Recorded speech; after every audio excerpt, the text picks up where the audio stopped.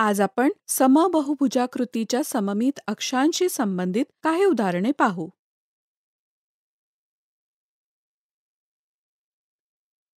खाली दर्शविलेल्या आकृतीमध्ये किती सममित अक्ष आहेत?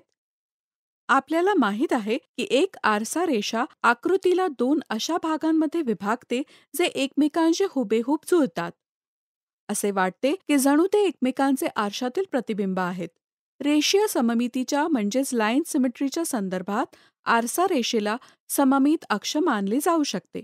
म्हणजे आपण म्हणू शकतो की सममित अक्ष आकृतीला दोन अशा भागांमध्ये विभाजित करते जे एकमेकांचे आरसा प्रतिबिंब आहेत. या समजामुळे आपण दिलेल्या आकृतीमध्ये सममित अक्षांची संख्या शोधू शकतो. जर आपण पहिल्या आकृतीत एक उभी रेषा म्हणजेच व्हर्टिकल लाईन काढली तर ही रेषा पहिल्या आकृतीचे दोन असे भाग करते जे एकमेकांचे आरसा प्रतिबिंब आहेत. म्हणून आपण या रेषेला एक सममित अक्ष म्हणू शकतो. त्याचप्रमाणे आपण पहिल्या आकृतीमध्ये एक आडवी रेषा म्हणजेच हॉरिझॉन्टल लाईन अशा प्रकारे आखली तर ही रेषा आकृतीला दोन अशा भागात विभाजित करते जे एकमेकांचे आरसा प्रतिबिंब नाहीत. म्हणून आडवी रेषा सममित अक्ष नाही. आता आपण आकृतीवर अशाप्रमाणे एक तिरकी रेषा काढू. ही रेषा आकृती एकला अशा दोन भागांमध्ये विभाजित करते जे एकमेकांचे आरसा प्रतिबिंब नाहीत. म्हणून ही रेषा सममित अक्ष नाही. अशा प्रकारे तुम्ही व्हिडिओ थांबवून ही आकृती कागदावर काढा आणि यामध्ये किती सममित अक्ष असू शकतील हे शोधा. तुम्हाला कळेल की या आकृतीमध्ये केवळ एकच सममित अक्ष आहे. आता चला आकृती दोन बद्दल बोलूया. आकृती दोन मध्ये आपण मध्यातून जाणारी एक उभी रेषा आखूया.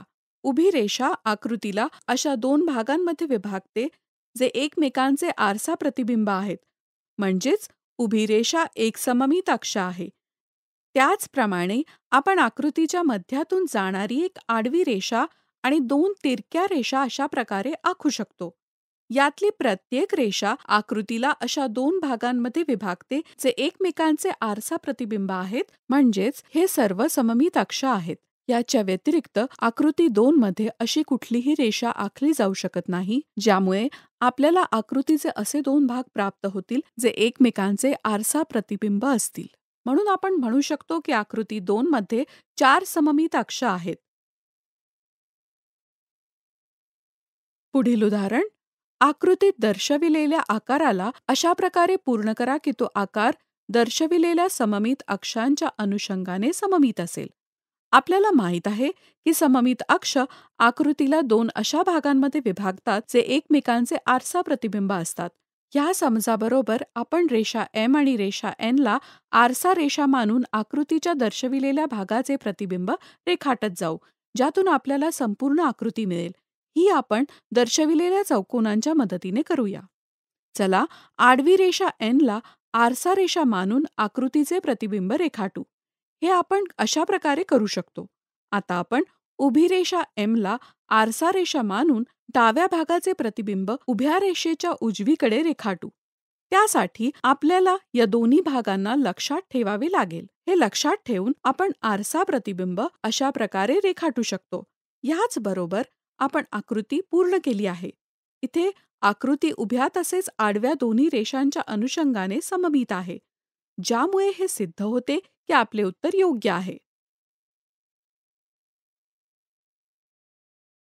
आज आपण समबहुभुजाकृतींच्या सममित अक्षांशी संबंधित काही उदाहरणे पाहिली. पुढील व्हिडिओमध्ये पाहूया समबहुभुजाकृतींच्या सममित अक्षांशी संबंधित काही सामान्य चुका.